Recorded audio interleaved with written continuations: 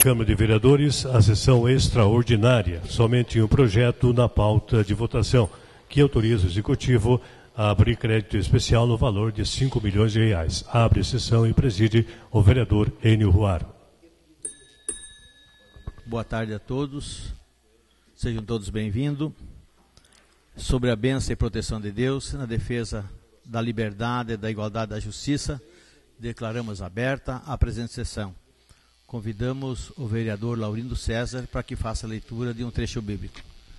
Salmos 129, 130. São admiráveis as vossas prescrições, por isso minha alma as observa. Vossas palavras são uma verdadeira luz que dá sabedoria aos simples. Amém. Amém. Sessão extraordinária, temos apenas um projeto na tarde de hoje, nessa sessão.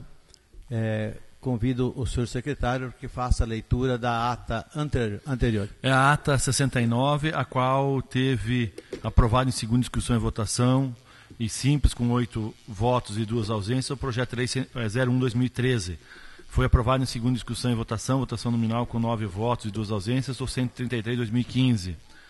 Aprovado em primeira discussão e votação nominal com nove votos e duas ausências, projeto de lei 144-2015. Foram, deu entrada o seguinte projeto, o 166-2015 e o 171-2015. Assim foi a sessão, presidente. Está em discussão a ata. E não havendo discussão, nós colocamos em votação. A votação é simples. Os vereadores favoráveis permaneçam como estão e os contrários queiram se manifestar. Aprovada a ata anterior por todos os senhores vereadores, com ausência do vereador Rafael Cantu e também do vereador Clóvis Gresle. Temos a leitura, senhor secretário, do edital de convocação. É o edital número 9, de 17 de setembro. Presidente da Câmara, aqui de Pato Branco, abaixo assinado, nos distribuições legais regimentais, convoca todos os vereadores para a sessão extraordinária, conforme estabelecem os artigos 99 e 100 do Regimento Interno das Casas Leis, que será realizado no dia 18 de setembro de 2015, com início às 13 horas e 30 minutos, para apreciar o projeto de lei 164/2015, que autoriza o Executivo Municipal a abrir crédito especial no exercício 2015 no valor de 5 milhões de reais. Pato Branco, 17 de setembro de 2015, assina o vereador Enio Ruaro, que é presidente da Câmara. Portanto, a sessão é extraordinária. Nós vamos imediatamente à nossa ordem do dia de hoje. É, solicito ao senhor secretário que faça a leitura da súmula do projeto 164. Portanto, é o projeto 164 que estava em regime de urgência, convocação de sessões extraordinárias, e ele é um crédito especial de 5 milhões de reais. Projeto 164 eh, tem a relatoria da Comissão de Orçamento e Finanças e o relator é o vereador Gilson Feitosa. Presidente, o presente projeto de lei, é, como já foi dito, é a abertura de um crédito especial no exercício do orçamento de 2015, no valor de 5 milhões, na Secretaria Municipal de Engenharia, Obras e Serviços Públicos, com a finalidade de pavimentação asfáltica das vias urbanas é, e interligação de nossos bairros. É, nós, essa Casa de Leis já também autorizou o Executivo a contrair esse empréstimo de 5 milhões e agora está pedindo autorização é, junto a essa Casa de Leis para esse crédito especial. A Comissão de Finanças e Orçamento analisou e viu que se encontra dentro das normas legais concernente à matéria e emitiu o parecer favorável, acompanhado de todos os membros da comissão, presidente.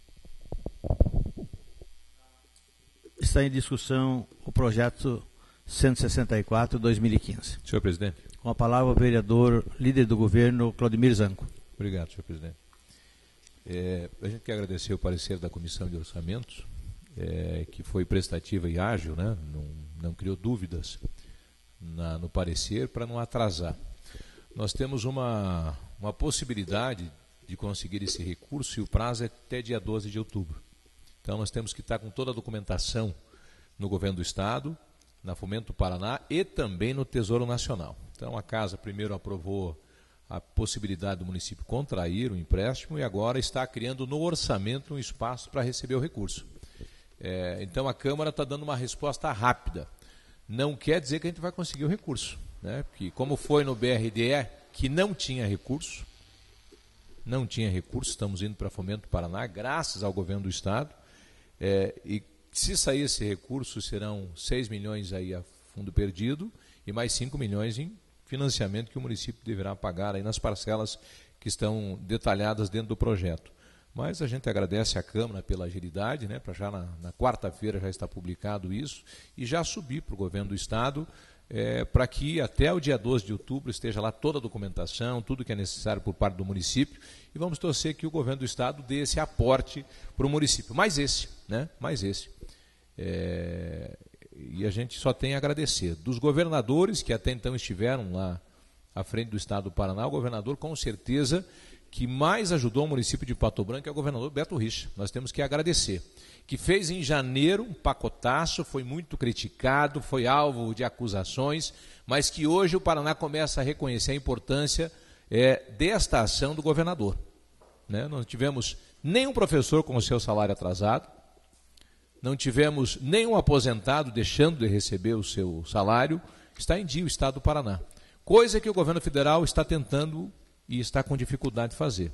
Então, o governo do Estado foi ágil, é, teve essa visão tributária futura, antecedendo todos os estados do Brasil, e hoje a possibilidade, então, quem sabe, de dar esse aporte ao município de Pato Branco, graças a essa articulação né, política do governador Beto Richa. Então, e, é claro, é, nós temos hoje esse aval de ter lá o Guto Silva, representando a cidade de Pato Branco, e o próprio Agostinho Zuc, nosso prefeito, com porta aberta. Né? E o que ele está solicitando lá é ordem no governo do Estado.